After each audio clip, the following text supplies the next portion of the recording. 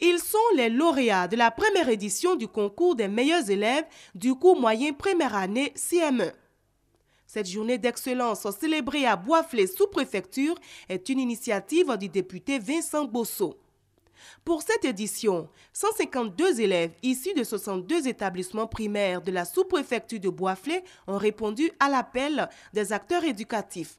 Quatre matières étaient au menu les mathématiques, la dictée, l'étude de test et l'étude du milieu.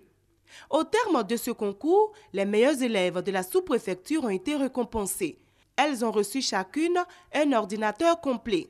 Pour Vincent Bosso, député de Boisflé sous-préfecture, le concours du meilleur élève de la classe de CM1 vise à promouvoir l'excellence et surtout à mieux préparer les élèves pour affronter la classe de CM2.